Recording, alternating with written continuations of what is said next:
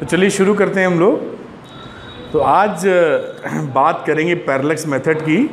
और ये मेथड कहाँ से किस कॉन्टेक्स्ट में बात कर रहे हैं, हम लोग बात कर रहे हैं, जब हम किसी की लेंथ को या हाइट को डिस्टेंस को मतलब नापने की कोशिश करते हैं तो हमारे पास दो तरह के मेथड आते हैं। एक तो डायरेक्ट मेथड और दूसरा इनडायरेक्ट मेथड डायरेक्ट मेथड में किसी चीज़ की लेंथ अगर नापनी है, जैसे मैं एग्जांपल दे रहा था अभी, कि अगर पेन है पेन का हमें लेंथ नापना है तो एक सिरे से दूसरे सिरे तक नपाई कर दीजिए स्केल लेके, या मीटर स्केल से अब नप जाएगा ये। तो दोनों सिरे हाथ में है तो डायरेक्ट मेथड अपनी हाइट नापनी है तो ज़मीन से लेके खड़े होकर नाप लीजिए हाइट निकल आएगी दोनों सिरे लेकिन कई बार ऐसी चीज़ें होती हैं जिसमें दोनों सिरे हाथ में नहीं होते। जैसे किसी माउंटेन का हाइट उस केस में ज़रूरी नहीं कि माउंटेन पे चढ़ के ही नापें। तो जैसा मैं बात कर रहा था कि अगर ये माउंटेन की हाइट है तो आप किसी डिस्टेंस से एक एंगल मेजर कर लेंगे। ऐसे करके एंगल मेजर कर सकते हैं इंस्ट्रूमेंट आता है और फिर कुछ डिस्टेंस आगे बढ़े और फिर से एक एंगल मेजर कर लिया। ये डिस्टेंस को बोल देते हैं डी ये हाइट एच और ये एक्स और ये आपका सिंपल टिग्नामेट्री का सवाल हो गया जो क्लास नाइन्थ में लगाया हुआ है। क्लास टेंथ में लगाया हुआ है। उसकी उसकी मदद से आप एच एंड एक्स निकाल सकते हैं। तो ये इनडायरेक्ट क्यों हुआ? क्योंकि पर्वत पे चढ़े नहीं। फिर भी हाइट निकाल ली आपने। आ रही बात समझ में? अब यहाँ इसके अलावा जब हम लार्ज डिस्टेंसेस को नापने की कोशिश करते हैं तो उसमें एक टर्म आता है या एक इंपॉर्टेंट चीज़ आती है जिसे बोलते हैं पैरालेक्स मेथड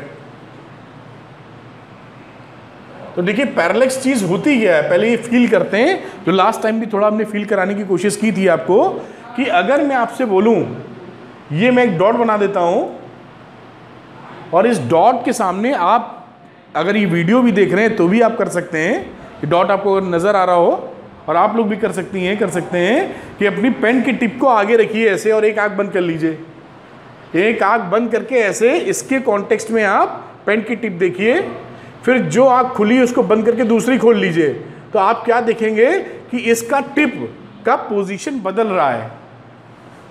देखिए, हमें भी दिखाई पड़ रहा है, एक बार टिप रखते हैं तो कुछ दूसरा पोजीशन एक आँख बंद, एक खुली, अब सेकंड टाइम जो खुली थी उसको बंद, जो बंद थी खुली, और पोजीशन चेंज जबकि ये पॉइंट ये डॉट का पोजीशन नहीं बदल रहा, ये भी स्टेशनरी था उस समय, फिर भी आँखों से दो अलग अलग पोजीशन नज़र आ रहे हैं.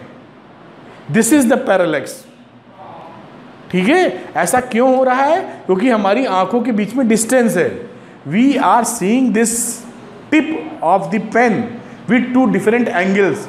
एक बार आँखों से ऐसा एंगल जाता है और एक बार आँखों से ऐसा एंगल जाता है। ठीक है? इस वजह से इसकी पोजीशन बदल जाती है।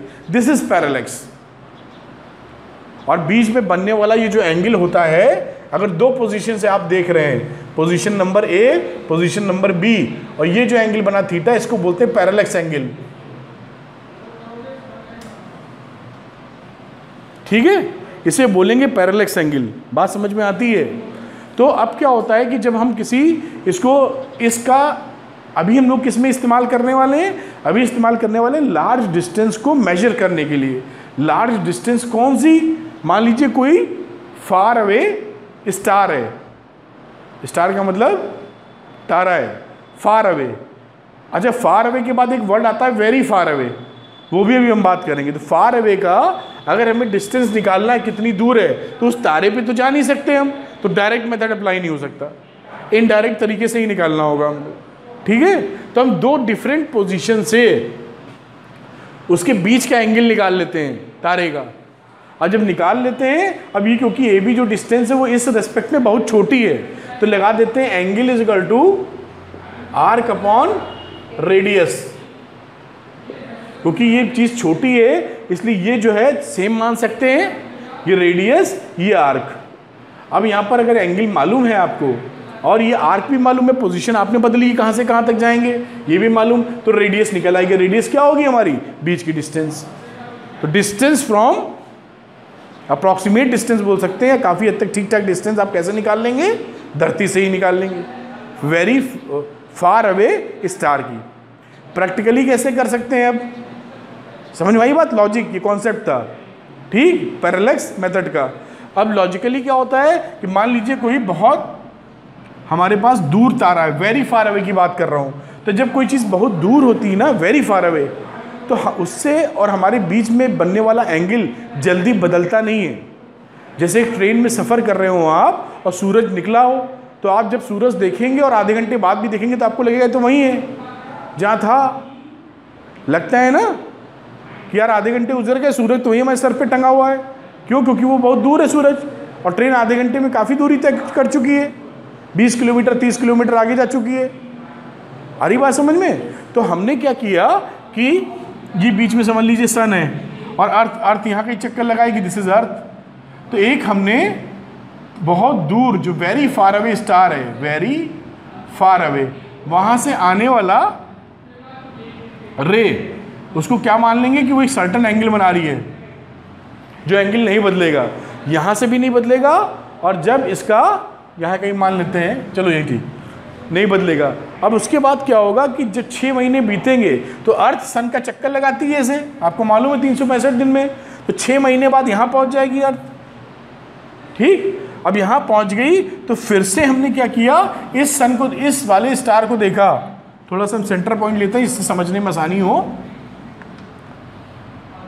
तो इससे मान लीजिए कुछ एंगल बनना था तो इससे भी वही एंगल हमारा बन रहा होगा। यानी इन दो रे में कोई भी एंगल में चेंज नहीं होगा। क्यों? क्योंकि वो जो स्टार है वो बहुत दूर है, पास में रखना है, इसलिए टेढ़ी बनानी पड़ रही है। यही बना रहे डॉट ना, इसलिए। वरना क्या होगा? दोनों में एंगल सेम बहुत दूर है वो, बहुत दूर है।